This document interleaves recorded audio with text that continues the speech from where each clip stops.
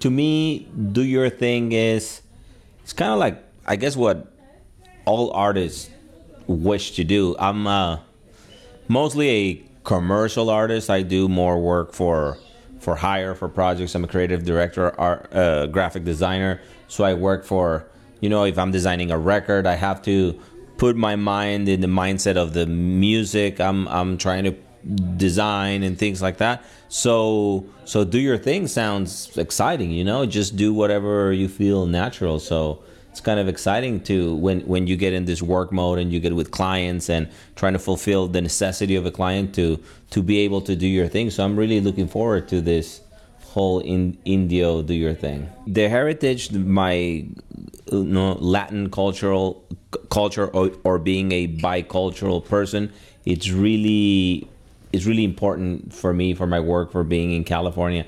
I think it's de- is definitely a part of what I do. You know, I, I definitely I think you can see it. You know, it's very important for my even also for my clients and and it's when they it, it's a plus being a having the Latin background, the that heritage, being a bicultural person. So I think it definitely permeates my work at one point or another. So I think it's definitely it's definitely there. It's very important. I had a clothing line for years that was very popular in Mexico. It was called Naco, and the whole thing was celebrating our, our heritage, but it was more about slang. You know, things we would say in the streets, uh, things you would hear uh, being modified from generation to generation. We would celebrate that. Basically, it was a celebration of popular uh, culture and our heritage. So it's definitely been in my work for years, and, and the work I did for that brand definitely uh, got me to know a lot of people and open a lot of doors for me. So I'm very grateful for that work because it did open a lot of doors for me. The brand came a little later in my life. I'm from the northern part of Mexico, so so we weren't that exposed to the brand.